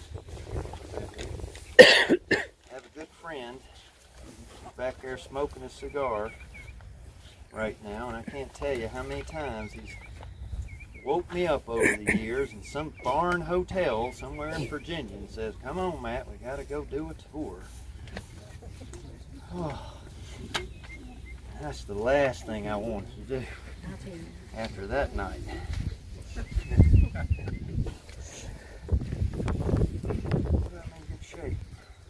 All right. So, let me get counted off here. I bet you can hear me now, huh? Okay, Matt's back together. Yay! Right here. All right, where's my camera? Okay. All right. So, we are now standing to the north of the Trostle barn. That would be for the camera that is directly behind the camera right now. Uh, so, uh, if you haven't noticed, I don't know how you couldn't if you've been to Gettysburg before. If you go on the opposite side, there's actually a cannonball hole in the um, barn from a shell, which obviously probably came from the peach orchard once the Confederates took over there. The one thing, or, or out of many things, there's many things we do not interpret here, but when the War Department set up this land and the monuments and all this hierarchy, that the original rules had placed the Confederate monuments on their original battle line. So therefore, we do not interpret after the Peach Orchard fell the advance of the Confederate artillery. So if you're ever standing in the Peach Orchard again and you're talking about that, think about that cannonball over here in the barn, they advanced from where we, uh, we began the tour over there at the Confederate lines along Seminary Ridge or Warfield Ridge, and they advanced to the Peach Orchard and they set up all along the Peach Orchard and all along the Emmitsburg Road. And every shot they were firing down through here, there were hundreds, as I've already noted, Union soldiers trying to escape in the distance. And it's a shooting gallery for them. They would fire, Confederates especially would fire solid shot over your, over friendly troops because you were afraid the fuses would prematurely burst. So they would ricochet uh, solid shot down through there and and basically going bowling with human beings. Now, I, I obviously do not have any uh, casualty figures. Now, talking about artillery, let's think about why did was McGill, uh, excuse me, Bigelow's battery sacrificed? It was sacrificed to tie in what I told you earlier. There is a huge gap in the Union line basically from a little bit north of the Pennsylvania Monument all the way down to the um, George Weikert House. George or Jacob? George. George Weikert House. I shouldn't doubt myself. To that area. There are no Union troops. Freeman McGilvery is the reserve artillery chief for the Union is desperately trying to buy time to wheel in artillery batteries to shore up that position and stop the Confederate advance. That is why the Massachusetts battery is sacrificed.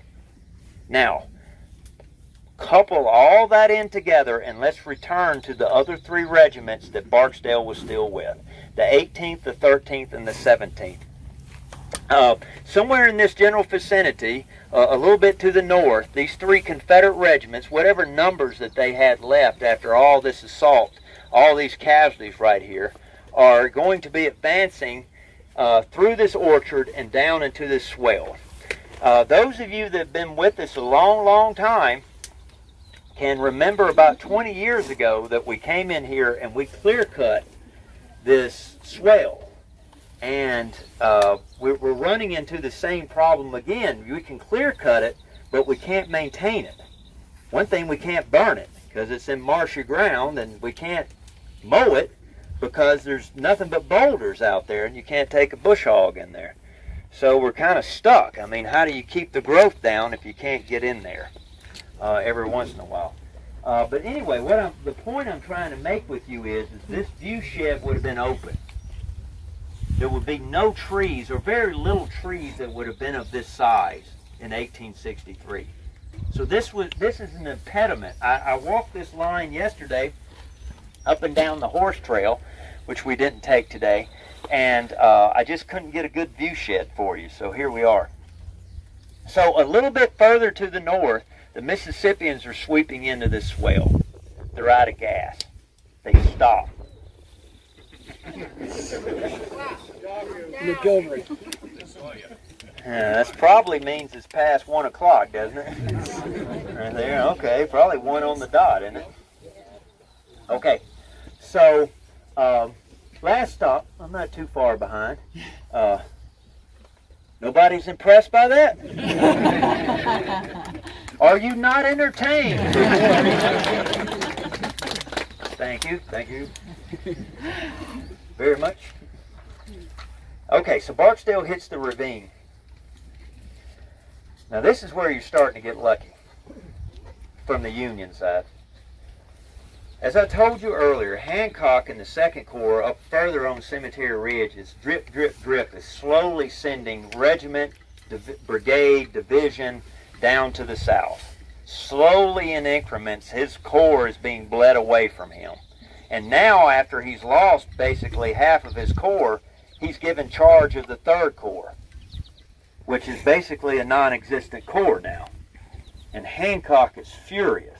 But Hancock is a soldier, and a good soldier always obeys orders, or else he's not a soldier. You must have order. And so Hancock dutifully goes down to somewhere around the Pennsylvania Monument and starts trying to put Humpty Dumpty back together again. Um, talking about luck, though, one of those Union reinforcements that are marching south would be uh, George Willard's uh, brigade of New Yorkers. And as they're marching south, they're headed for the wheat field. So they're not right here, but they would be back on uh, Hancock Avenue in that area, and they'd be marching down, headed to the south. And then, as luck would have it, they're at the right place at the right time. Instead of going all the way to the wheat field, they end up being right in the middle of that gap in the Union lines. And Hancock orders them, instead of facing or heading to the south, he orders them to face um, to the west. All right? And they turn in this direction and they start advancing toward the Confederate position. These New Yorkers, I'll, I'll go ahead and finish this. The, one of the regiments is the um, uh, 111th, no certain order, 111th, 125th, 126th, and the 39th. The 39th New York is going to branch off and, and recapture Watson's battery. And eventually, I'm getting ahead of the story here, they're going to, I would credit with probably liberating Bigelow's guns again. But anyway, our focus is going to be on the 125th and the 126th New York. Now, all this is happening on the Union side. On the Confederate side, William Barksdale, as I said earlier, and his three Mississippi uh, regiments are stopped up here. And they're in that swell. And so I found this a very interesting account. Um, this, this account is from William Youngblood, who was a courier for Longstreet. And I guarantee you that Karlton Smith already has this source. uh-huh. Longstreet arrived in this world at 546. AM or PM, Carl? Okay, so William Youngblood is a courier for Longstreet. He later relates that he was with Longstreet near the peach orchard. Longstreet physically is going to advance, I mean personally, is going to advance with Wofford's brigade. So what is happening? I told you that the Confederates, or at least the South Carolinians and Mississippians, Hood for that matter too, are wheeling to the left, wheeling to the left, wheeling to the left. Wofford's brigade is going to go straight. So, to tie it all in, the Mississippians wheel to the left. They push the Yankees back this way. The Alabamians are coming, as I said earlier, from the other direction. When the Alabamians come up to them, if the Mississippians keep going straight, they march in front of the Alabamians. So you would have a T, if you will. That's not what you want in Napoleonic tactics. You want you want them all in one, and an L is what you want. You don't want a T. So what ends up happening, ladies and gentlemen, is that Barksdale conforms to Wilcox. Instead of wheeling to the left anymore, he wheels this way. He conforms with Wilcox, and they go forward. All right? And they start advancing. So, Barksdale's Mississippians. On the other side, you have Wilcox's Alabamians. And on the other side, this is a little bit south of the Codori farm, uh, would be Lang's Floridians in there, roughly about seven, eight hundred men. But a little bit outside of our scope of study right here. But you've got three Confederate brigades in this ravine. And it starts right behind the Trostle farm. So William Youngblood is with um, Wofford and, and, and uh, Longstreet. And Longstreet, while he's riding along, William Youngblood comes up to him. And he says to, to, um, to Longstreet, he pointed out to the general that Barksdale had stopped while Wofford's brigade had kept advancing. Youngblood rec- uh, recollections said, uh, Do you want General Barksdale to halt? And Longstreet turned his head and said, No, go tell him to retake his position in line. So what does he want to do? He want what Longstreet is trying to do is to keep that wave of human beings rolling forward on all fronts. Pressure, pressure, pressure. And so, uh, Youngblood related, I don't know what fence it was, but he said he put spurs to his horse, and as he turned from the peach orchard, he cleared a fence, uh, racing down here to the uh, Trostle farm. And when he went over the fence, the, the leap of the horse, I, I've never, look, I've been on a horse three times in my life. None of it good right there. I don't get it. I don't get it at all. I see them all the time. One time, you know, you got two straps on the horse. Well, well the horse I was on only had one strap, and I, I just started galloping. And I didn't know how to gallop, so I just started. I thought you had to be like a jockey, and that saddle was flopping on the back of that horse. That's the worst whooping I ever got my whole life. I said to myself, if I ever get off this horse, you never get me back on there. I don't know if y'all been paying attention, but ain't nothing much to beat back there, man. I'm pretty, whew, I hurt. Anyway, he jumps that fence, and when the horse goes over the fence, it throws him. And he catches himself around the neck of the, you ride? He catches himself around the neck of the horse. And he says he barely hangs on to it, but you know he's got uh, hundreds of people watching him, and when you you know how it is when people are watching, you know I didn't hurt man, I freaking ordinarily you take a few days off, but he says he pulled himself back in the saddle and without missing a, a beat. He rode down here, and somewhere out in this ravine right here, and I couldn't mark the spot. I don't know exactly where it would have been, uh, but not far from the house in the rear to the north, he's going to come up on General Barksdale. Youngblood rode to Barksdale and found him behind a quote unquote a brick milk house.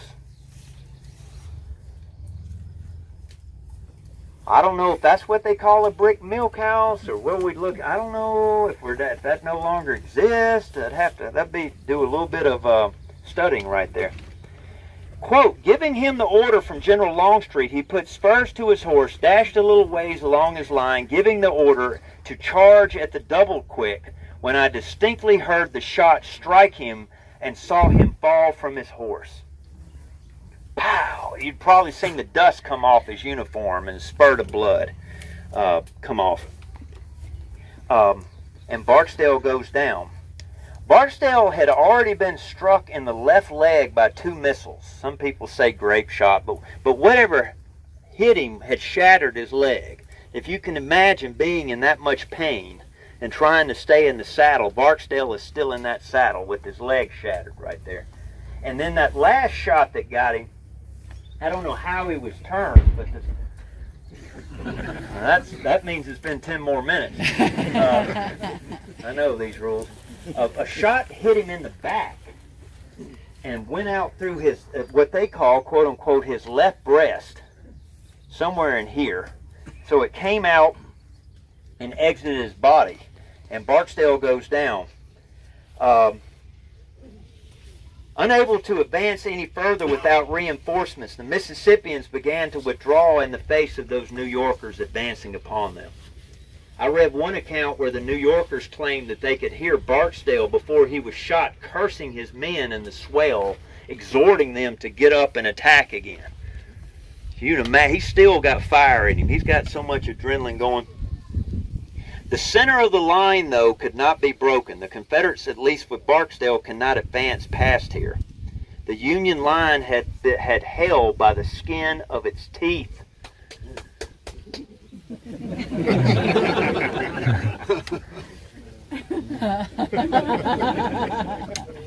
You ever walk in there and the piano player quits playing? That's when you're in trouble. Prostrated in pain, Barksdale lay on the field until late that night, around midnight, until volunteer stretcher bearers from the 14th Vermont arrived. Finding the general in great pain, Union soldier David Parker placed Barksdale's head in his lap and administered coffee by the spoonful to him. In a letter to the family years after the war, Parker recalled that Barksdale was lucid when he was found he knew that his death was imminent, but the stout heart was not ready to yield. He wrote this to the family. Now, if you can imagine getting a letter like this.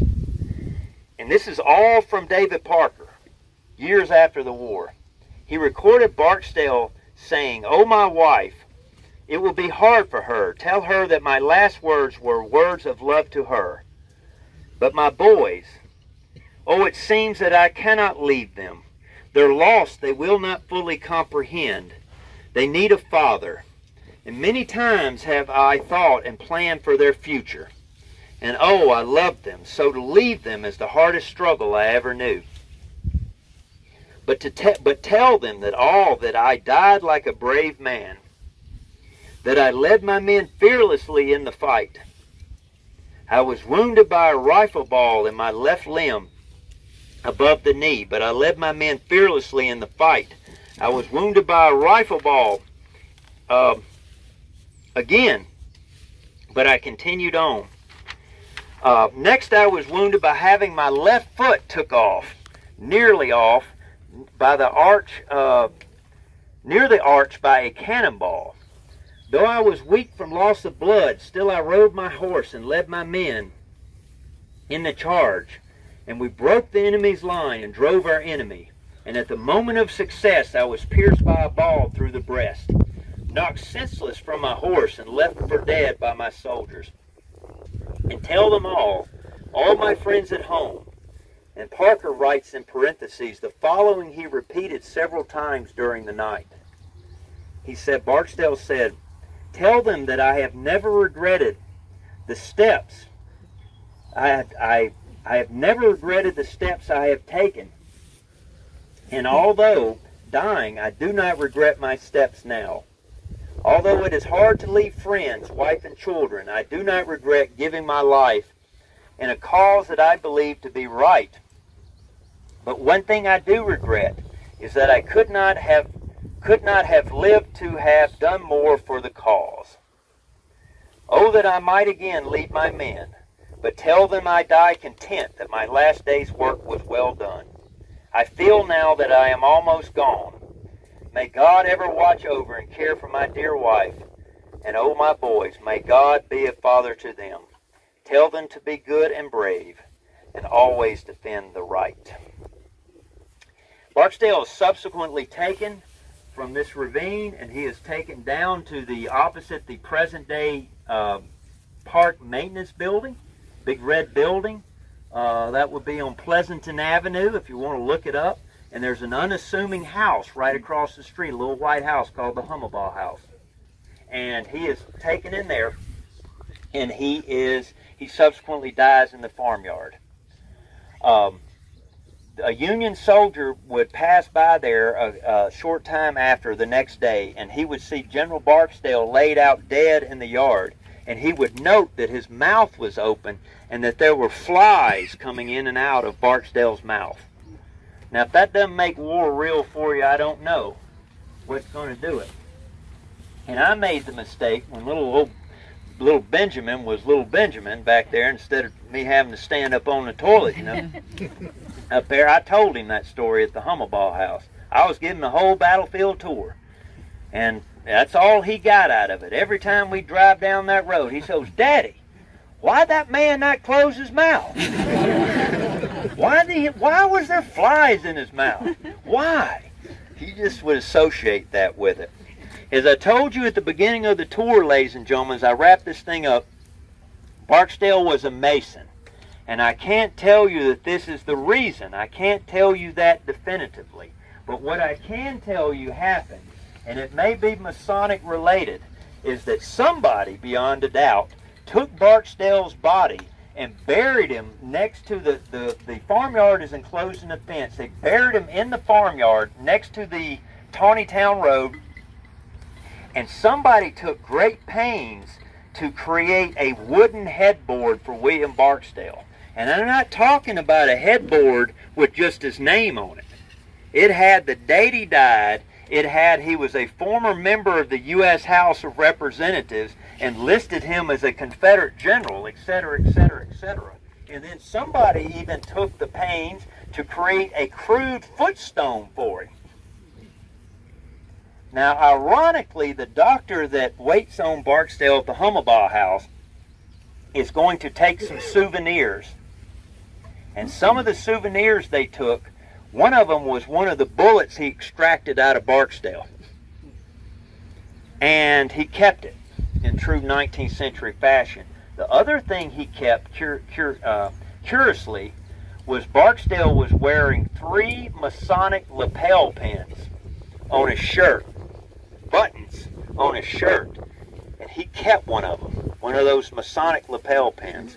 And I am happy to say that the park now has that guy's surgical kit, the bullet, and Barksdale's Masonic pin. It's off that shirt. Isn't that cool? In conclusion, ladies and gentlemen, in 1867, in January of 1867, Barksdale's remains will be brought home to Mississippi. And he will be buried in Greenwood Cemetery in Jackson, Mississippi, and his grave will be promptly, unlike Gettysburg, promptly lost. So I can tell you, just like Armistead is in Baltimore, that Barksdale is somewhere within that family plot in Greenwood Cemetery over there. In conclusion, as far as the Mississippians were concerned, I don't have any hard casualties for you. Um, B.G. Humphreys would later report after the war, at least in a letter, he would say that Barksdale went into a, the attack with 1,420 soldiers, and out of the 1,420 soldiers, he would suffer a loss of 738 in this attack, to give you an idea of what they went through in order to do that. That's crazy, the amount of people out there. Now I got to let you go because I'm gonna. I'm actually gonna get close to two hours on that, and I'm very pleased by this. Uh, It's going to be another cannon shot. Another cannon shot. That won't be good either. Let the cannon shot signal the finale, man. Um, folks, if you're watching on camera and you haven't been to Gettysburg, get here. Come out here.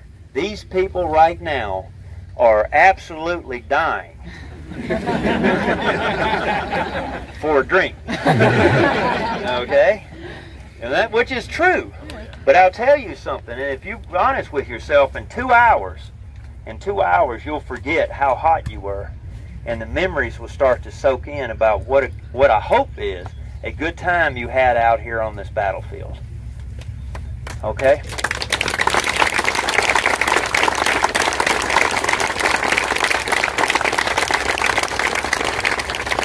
Thank you, thank you. My name is Matt Atkinson. I'm from Houston, Mississippi. I live in Cashtown, Pennsylvania. And as Jerry Lee Lewis would say, you can look it up. Another place, another time. Y'all take care. Thank you very much.